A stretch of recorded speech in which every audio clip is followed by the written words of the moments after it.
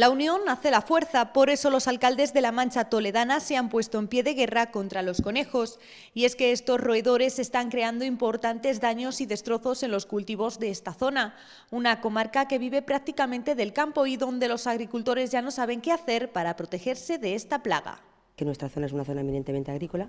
la principal fuente de ingresos es la agricultura y los agricultores, las asociaciones agrícolas y los agricultores particulares están muy preocupados por este tema. Se están comiendo los sarmientos, lo mismo en espaldera que en vaso, y hay zonas que están, la verdad, eh, pero como lo dicen, marchacadas totalmente, entonces es una cosa, una impotencia total. Pedirán soluciones urgentes a la Administración regional como la ampliación del periodo de caza y más descastes, pero también la intervención de la Confederación Hidrográfica del Guadiana para la limpieza de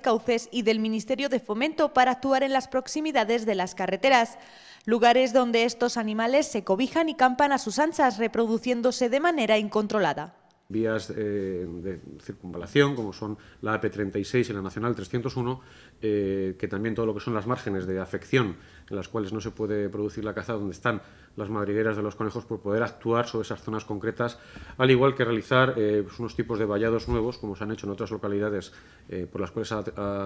transcurre la AP36, y de esta manera intentar solucionar o solventar este problema. Para ganar la batalla se requieren todos los medios posibles. Pedimos eh, que se nos agilice lo máximo posible,